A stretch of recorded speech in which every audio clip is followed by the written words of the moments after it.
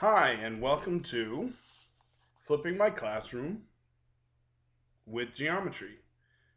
This is a brief introduction video of what is going to be happening in my geometry classes for the rest of this year. We're going to institute a concept called flipping the classroom. So, real briefly, I'm going to go through why we're doing this, uh, the advantages and disadvantages, and hopefully a uh, look at the desired outcome. when we talk about flipping the classroom, we're not changing what we teach. We're just changing the order in which we teach it. So, in other words, what typically would happen is a child would come in and I would do my lesson. And for 90% of the period, they would sit there, listen to me, and take notes. Then we would try a few sample questions.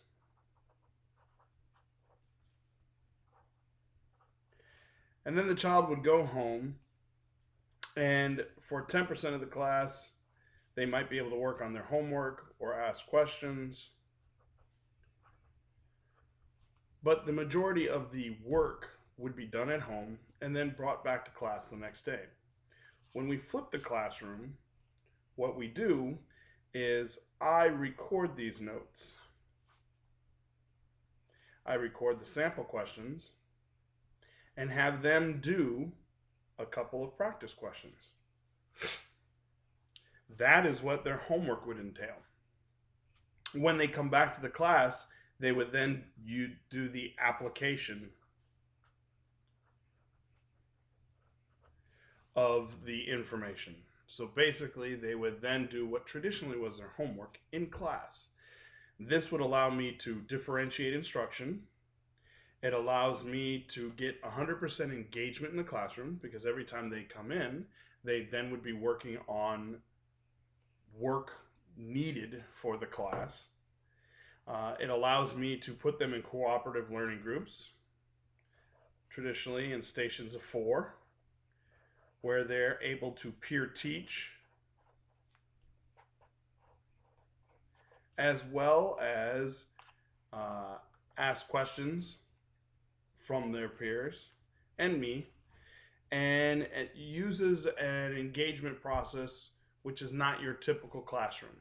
I can then group them by achievement level. I can move them around and get all the kids who are maybe missing a particular concept in one spot and show them specifically what's going on. If there's a general question I see revolving around the room, I can address each problem. And the idea is that the mundane stuff or the stuff traditionally that they would do at home uh, would be finished in front of me and they can ask questions. And then the things that they really don't need me for, which would be the notes, uh, they have the advantage of being able to pause it, rewind it, replay it, re-listen to it, and it becomes an extension of the homework. Um, this is so that there's two things that are accomplished. One, there's more learning being done in class. And that means when they get things wrong, they're able to correct it. and they should be taking more notes at home because they now have the advantage of slowing down the teacher or pausing it and then going back and hearing something they may have missed. Um, this also increases the amount of uh, help that they can get later.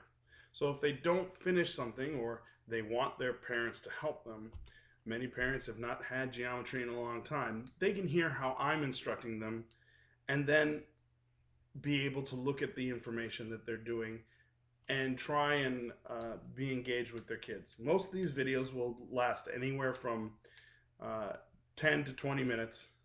Uh, most of them are only 10 minute long. And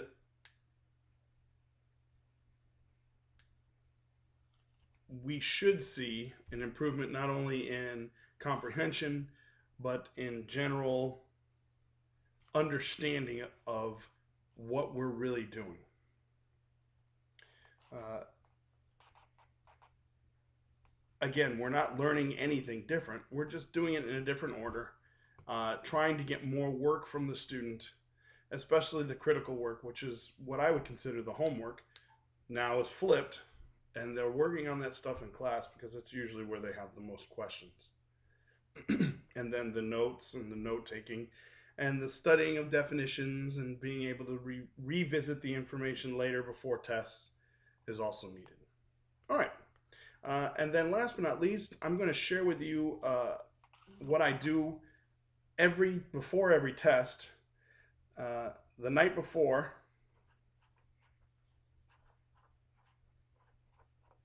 for approximately an hour, I always go online and do an Elluminate session, which is an online conference office where I go through and basically study with the kids for an hour before uh, the day before a test. Um, last one was a lot more productive than the first three I've had. The first three I had, I sat there by myself and no one came. So we worked on logging in with all the kids at school. Every child has done this. Uh, they have gone through the process at school and then I've told them to do the same process at home. Uh, I will always post on their portal page the link to get to the online review. If they happen to miss it, I always record it, and all they have to do is look for the recording on the same day and um, listen to it. Now, they can't ask any questions, obviously, because it's a recording, but they still should be able to uh, get a pretty good study uh, with everybody else asking questions. All right. Well, I thank you for listening to my video and uh, have a great evening. The first lesson will be for chapter 5. Thank you and good night.